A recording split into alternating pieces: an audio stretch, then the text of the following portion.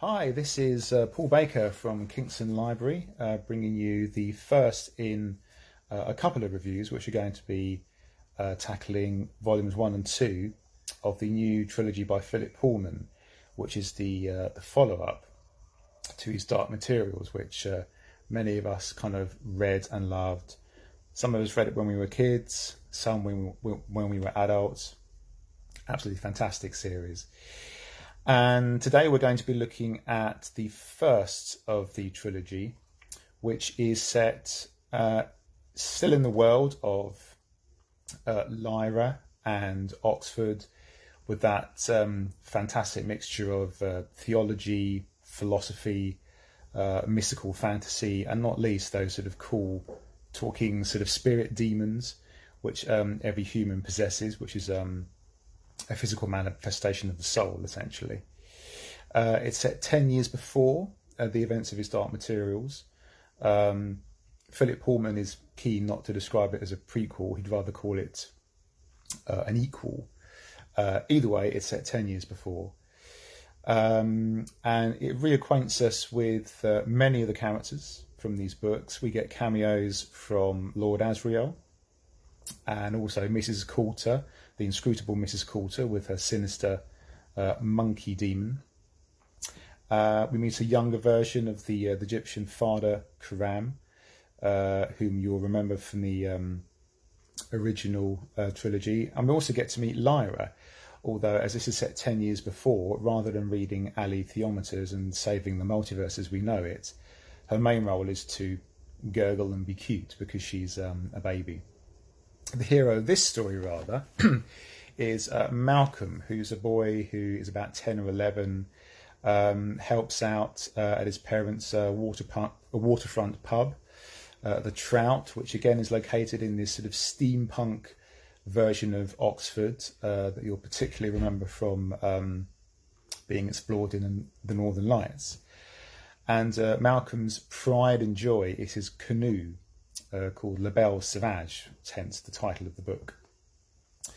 Now, the plot really gets going uh, when Malcolm witnesses a stranger dropping a secret message before being apprehended uh, by a pair of thugs, at which point poor innocent Malcolm gets drawn into this world of politico religious uh, uh, subterfuge. On one side, we've got the theocratic fascists of the magisterium, who, again, you will remember from the original trilogy, and they're very much um, present in this new one. Um, not least their kind of sinister Stasi, the agents of the uh, the CCD or the Consistorial Courts of Discipline.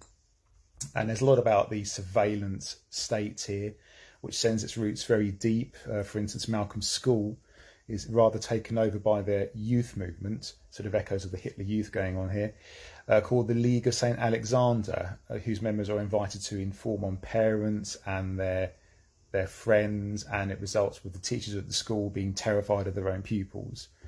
So all sorts of uh, horrible echoes from 20th uh, century and indeed 21st century history going on here. Uh, and on the other side, the other sort of organisation is this shadowy resistance movement known as Oakley Street. And the book kind of comes in two big sections. Uh, the first part is more or less kind of building the world, setting the scene. There's um, various kind of incidents which happen in the the pub, which is run by Malcolm's parents. Uh, various goodies and baddies going through there. Plenty of roast beef and apple pie, so it's quite boys only in some way, or at least this section is, and we'll also come back to the tone in a minute. Uh, Malcolm also gets acquainted with Oakley Street, who are this, you know, who are trying to fight back against the suppression of free will and free speech uh, imposed by uh, the magisterium.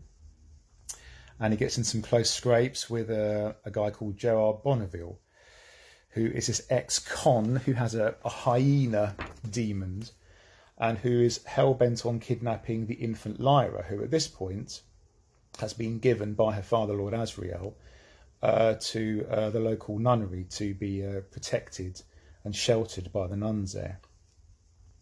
And what separates the two sections is this fantastic flood, which engulfs Oxford, engulfs the priory and the town, Um, and Malcolm has to escape with the, the baby Lyra and also um, a slightly older girl called Alice, who's sort of a frenemy. They start out as, you know, bitter enemies. And by the end of the book, they formed a very close bond. Um, uh, and there's this kind of sort of phantasmagorical, uh, almost hallucinatory, dream-like journey across kind of flooded Oxford. And it's at this point um, that we sort of brush up against much older mythologies. There's echoes of Albion and old Father Thames, uh, sort of fairies, kind of, you know, gardens of forgetting. And we get much more of some of the elements that really came to the fore in the latter parts of the uh, the original trilogy. Um, so it's a fantastic book. It's uh, full of the the adventure uh, and the thrills that you'll remember from the um, from his Dark Materials.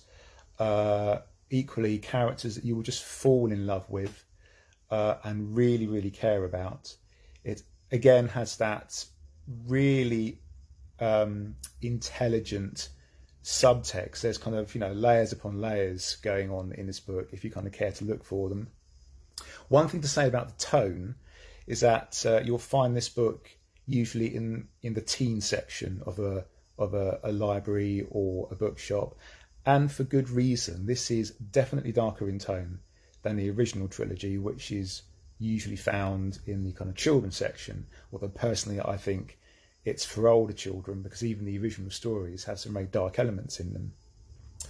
Uh, but this one really kind of ramps that up, uh, not least in the in the figure of Gerard Bonneville, who is this terrifying sort of psychopathic predator who's hell bent on kidnapping the baby Lyra, um, and just does some really kind of terrible things. And it's for that reason that I would suggest that if you got if you're a parent who has kids who have read the original trilogy and want to read this one, you might want to read it yourself first.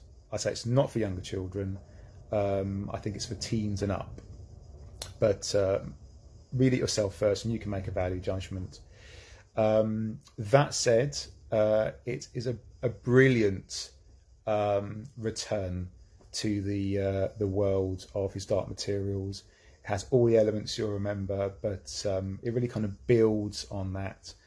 Um, and this prologue, as well as being a fantastic standalone tale, it really sets a scene for what's going to come next in the uh, the series. I should have said the name of the series is the Book of Dust. So this is the Book of Dust trilogy, um, and the second volume of that, um, which is the Secret Commonwealth, we'll, we are going to look at in the uh, next review. One final thing to say if you are downloading the audiobook version of this, um, a massive shout out to the narrator, which is the actor Michael Sheen. Uh, Michael Sheen of of Good Omens and various Hollywood blockbusters.